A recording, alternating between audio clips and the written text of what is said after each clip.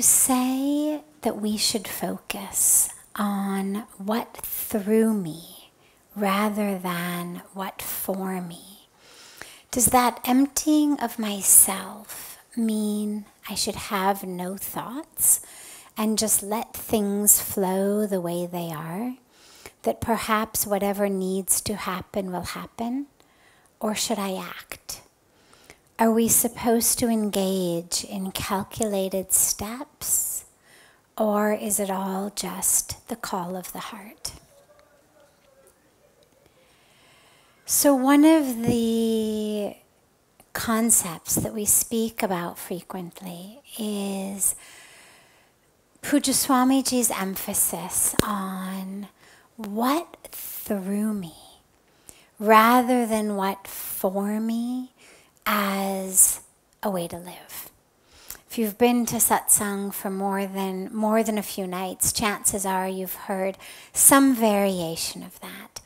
That as we live, in order to not just clean our karma, not just attain punya or merits, not just for those, but even for the peace and the joy and the fulfillment and the meaning every moment, every day. It's not just about, you know, is it heaven or is it hell after you die or what's going to happen in next birth, but rather right here, right now. How to live in moksha, in freedom, in joy, in peace rather than in tension and stress and difficulty. So, the what through me rather than what for me is a key. A, of course, it's better for the world. It's better for using whatever talents, skills, abilities intelligence, initiative we have in service. But it's it's more than just that. When we say what through me, really what's happening is we are putting ourselves in alignment with the flow of the universe. There's, there's a flow in the universe, much like there's a flow in the river Ganga. And the concept of what through me, when we ask ourselves, what through me, it's literally putting us in alignment with that flow of the earth, with that flow of creation, with that flow of nature, divine nature the will of God, whatever, whatever term we use for it. So it's something we speak about a lot. So now the question says, well, okay, if what we're asking is not what for me, so we're not moving through the world based on my desires, my ego, but rather we're asking what through me. Does that mean that I don't act? Does it mean that I don't think? Does it mean that I don't plan? Does it mean that I don't make decisions? Do I just assume that what's supposed to happen will happen? And the answer to that is no. And the reason is we are acting anyway. Even if I say, okay, I'm going to just let the universe flow through me. Well, that's also an action. Neither, neither of the options is non action. Neither of the options is not making decisions. Neither of the options is just sit here and wait and see. Neither of the options says status quo is best. Both of them are actions. The only difference is the what for me is really in service of our, our lowercase s self, We spoke a lot about this the other night, the distinction between that. The lowercase s self being our ego, our false identities, our fears, our desires, all of that how we've how we've always lived. All of that which comes easy, all of that which feels familiar. That's that's the lowercase s self. This is how I've always done it. This is what I'm what I'm afraid of. This is what I love. This is my ego. This is who I am. That's lowercase s self. And when I make choices about, well, what am I going to get out of it? Where is me in this? If the me that I'm asking about is the lowercase s self, so all right, I'm going to do that for you. What are you going to do for me? All right, that's lowercase s self. Capital S self gets by giving the capital S self, our, our true self, our expanded self, understands that when I'm doing something for you, I'm doing it for me. Understands the oneness between us. And in that giving is also receiving. So when we ask, What through me? It really is calling upon us all to act from that higher self. And it's not always easy because a lot of times it shakes up, whether it's our inner world or whether it's our outer world. It shakes up our inner egos, our inner fears, our inner habits. A lot of times it calls upon us to make decisions that are not necessarily what the culture says. When I when I first came to India and I knew this is where I was meant to be. I knew this is what I was meant to do. It just it was so right. And Pujya Swamiji sent me back to America briefly, thankfully, but he sent me back and when I was there finishing the next semester, the next part of my studies, everybody I would speak to would say, Well, you can't go back to India yet. You're too young. First, you've got to do X, Y, and Z. First, finish this. First, get yourself set. First, do this. First, do that. Then, you know, you want to take a year or two and go somewhere and do some social work. Sure, why not? But not now. The time isn't right.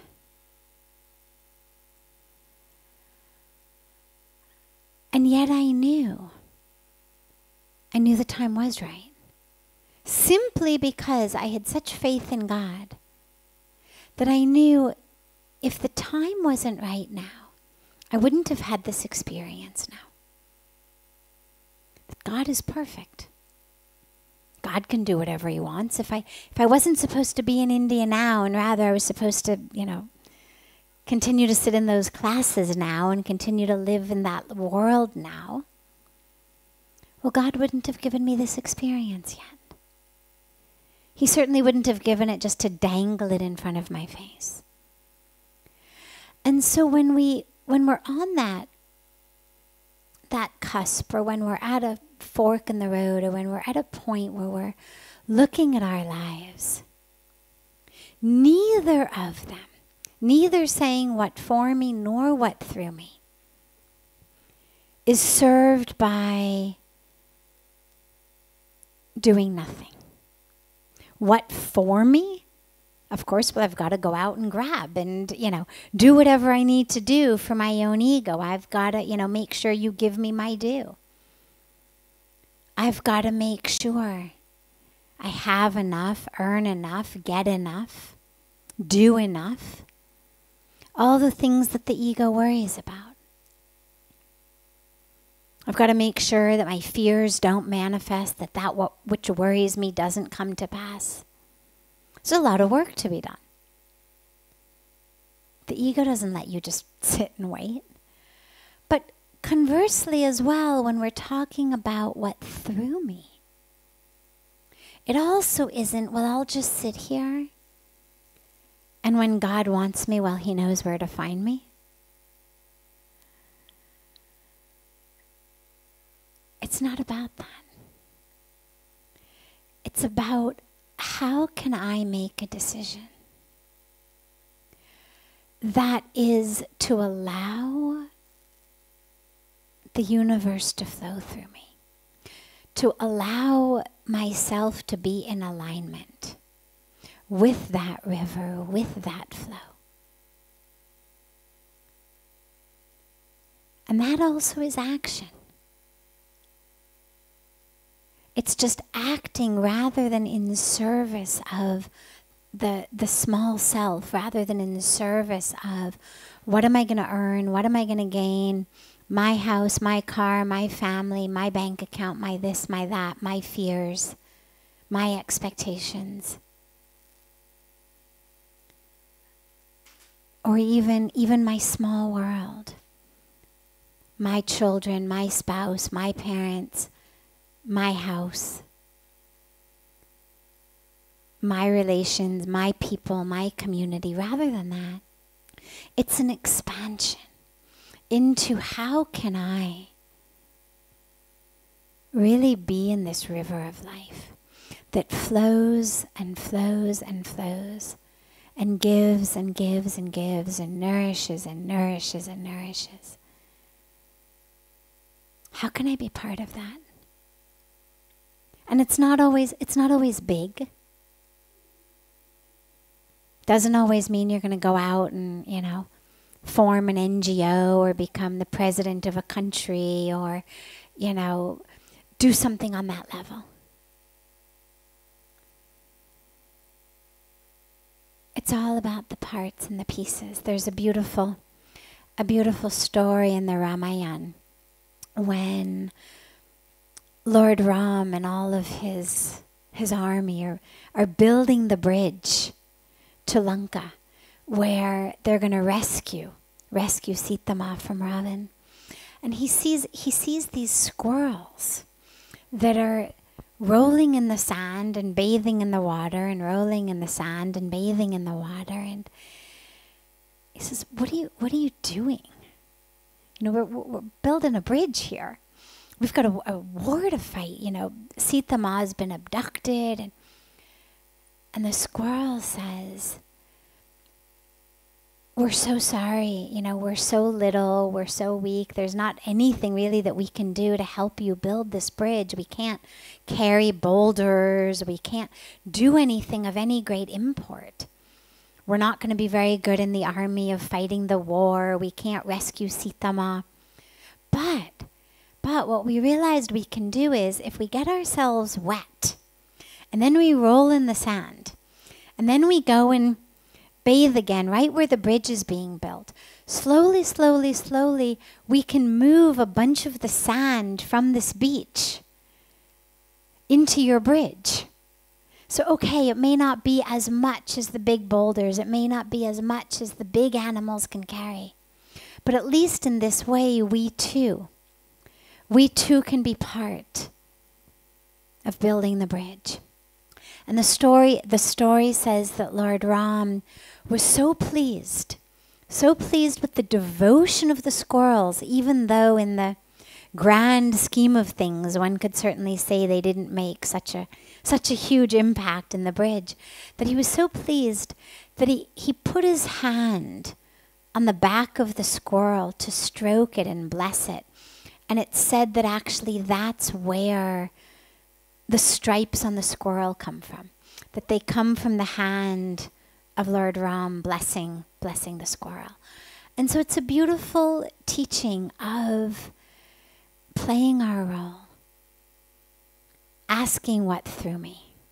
Not everyone, not everyone was going to be able to carry the big boulders. Not everyone was going to be able to traverse the bridge and rescue. But the role, the role of everyone, even the squirrels, was so important and so deeply, deeply appreciated by Lord Ram, the, you know, the incarnation of the divine in form. That it's there to teach us. Don't worry what you can do. Don't worry if you're a boulder carrier, if you're a big bricklayer, if you're, you know, the one who's the hero of the war. Don't worry. Figure out what part you can play, and even if it's just getting wet and carrying the sand, so be it. But allow allow that that flow to flow through you. So circling back, when we have these decisions to make, they're not always easy. And asking what through me shakes up, shakes up the inner world, sometimes shakes up the outer world. Because everybody is used to everyone acting as what for me. So the minute that we make a different decision, it shakes people. It shakes them in their relationship to us. It shakes them in their relationship to themselves. Because everything we do becomes then a mirror for other people. If people are making decisions in their life according to their egos, according to their fears, according to their desires, according to the false identity, according to what they've always been told and they've never questioned it and they've never, according to that, and you suddenly make a different decision. That's a mirror in the face of those who are, you know, sacrificing everything at the altar of the status quo.